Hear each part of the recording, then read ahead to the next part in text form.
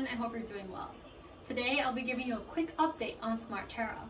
First of all, we already have a fully functioning prototype, so the only thing we're waiting on right now is manufacturing. Let me give you a quick overview on what we currently have. So right here is the SmartTerra unit. As you can see, the plants are doing great. I'm also connected to the unit on my phone through the app. This is the SmartTerra app. The app allows me to easily monitor the status of the unit. First of all, the bar right here tells me how much water is left in the tank. When the water runs low, the app sends me a notification. I can also monitor the temperature, humidity, and moisture inside the unit. I can adjust the volume, and I can also temporarily turn on and off the lights.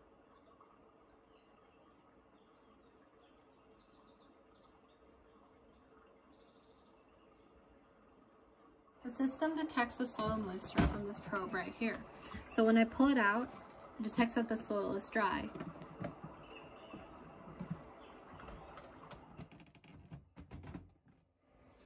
Afterwards, it will automatically rain.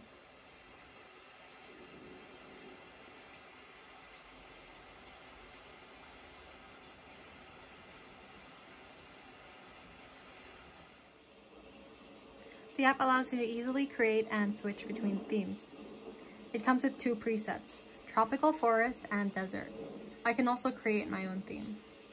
For each theme, I can set the temperature set point, humidity set point, and moisture set point. I can also select my own sunrise and sunset times, and select the daytime and nighttime sky color.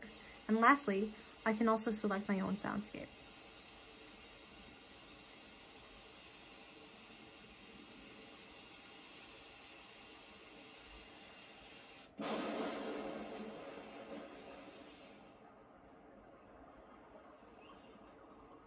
The app also comes with a demo mode. This allows you to show off the unit when you have friends coming over. I've just run the sunrise and sunset routine. This is what the unit does in the morning and evenings. I can also make it drizzle or make it rain.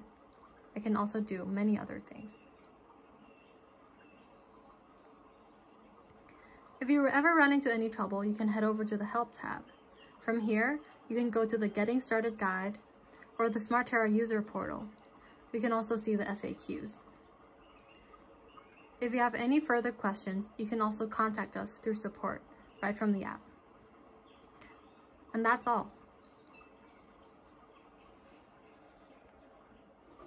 We hope that you are as excited as we are. We are working very hard every day to try to get SmartTerra to you as soon as we can. Once again, thank you for your understanding and patience.